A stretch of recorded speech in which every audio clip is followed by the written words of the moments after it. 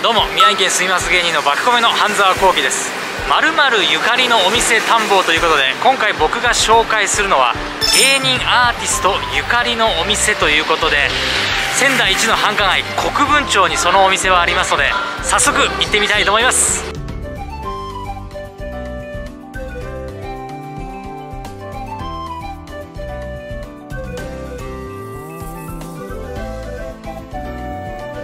目当てのお店到着しました。こちら飲みどころ食いどころ夢屋でございます。早速お邪魔したいと思います。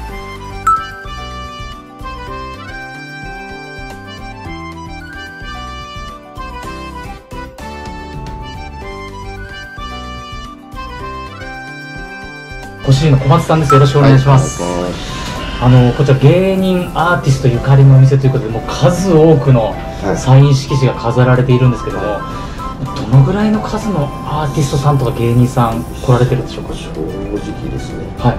あの数えきれてないっていうのが本当で。ええー、まだあのちょっとお店の壁にも本当は色紙貼ってあったんですけどあ。貼り切れてないのがまだあるということですね。まだあります。はあ。お店はもういつから営業されてるんですか？お店自体はもう30年ぐらいなんですけどもなんかちょっと途中であの引き継いだような形になってご主人がこのパッと思いつく中でこの人来たぞっていう有名人いらっしゃいますそうですね。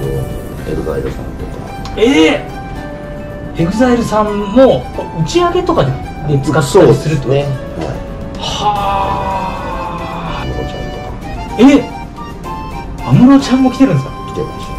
ええー、いやすごいな芸人さんだとどういった芸人さん来たことありますか？とあのサンドイッチマンの伊達さんとか。サンドイッチマン伊達さん。あとバナナマンの日村さん。バナナマンの日村さん。一応色紙はいますね。ええー、いやこちらもう宮城で本当超有名店なんですけどもその皆さんがこの打ち上げとかで頼む一品あると思うんですけど、はい、その一品ちょっと教えてもらってもいいですか、あの牛タンの串焼きは、はい、あの皆さん注文されますので。牛タンの串焼き、はい、これはもう皆さん頼む。まずほぼ皆さん頼まれます。創業当時からあるメニューそうですね、はい、じゃあその自慢のその牛タンの串焼き、はい、注文させていただいてもよろしいでしょうか？はい。よろしくお願いします。すみません。よろしくお願いします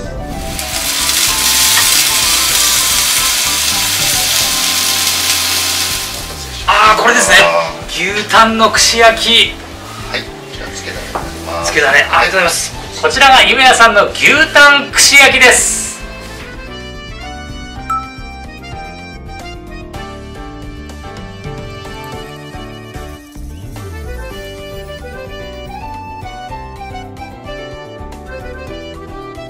こちらは？えっとこちらはですね、はい、えっと醤油ベースのあのステーキソースみたいなこちらがステーキソース。はい、はい、こちらはあの塩だれになってます。はい牛タン串焼きいただきます。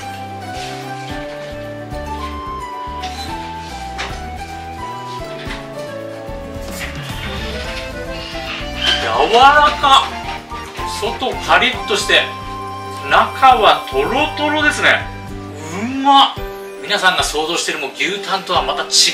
一味違った。うまみの濃い牛タンですね。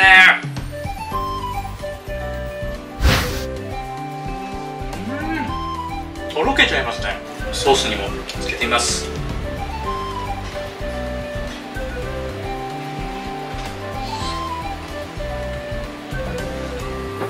うん。もうソースも美味しい。うん。そのままでもいいんですけどもこのソースをつけることによって肉のうまさが際立ちますねということですね、えー、そうそうたる芸人アーティストの皆さんが食べた飲みどころ食いどころ夢屋さんの牛タン串焼きもう絶品でございます。ぜひとも皆さん仙台の繁華街国分町にある夢屋さんに、え、食べに来てください。また次回お会いしましょう。さようなら。